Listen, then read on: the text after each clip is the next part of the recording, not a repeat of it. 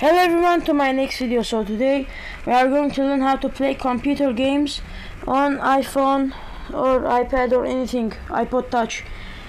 So you go to your iPhone or iPad and you download this app called Splashtop. This game uh, for iPhone this one and for the iPad there's a picture with an iPad and the computer. So you must download the app on your computer too. So if you want to do that just go to Google Chrome and then search.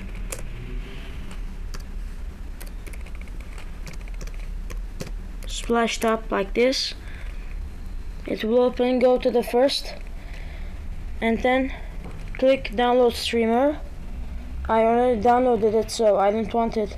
So when you click this it will download and then you must create an account for it to work so I already created an account and here's my iPhone. I'm gonna teach you the steps. So click on this.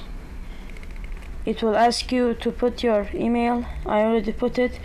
It will open the PCC this is my PC when I click on it it's gonna connect. See what happened? Now it will it will it will give you some hints if you want and see. And just click continue. And there guys that's it. See you're controlling your computer. See? If you do it with an iPad it's good. You can play any game. You can play League of Legends. I don't want to play it now because it's I don't know how to play the game. So I can go to Google Chrome if I want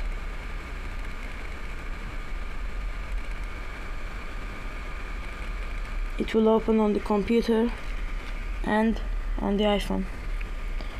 So let me open. See? It opened here on the iPhone and on the computer. If you want to disconnect just click the home button and you disconnect it see? The screen comes to normal again. It writes down here okay guys this is how to play computer games on iphone on i or ipad or ipod touch. And i think this is paid. I think this is with money. I don't know how much it is. I installed the free version. I forgot to tell you tell you from vshare.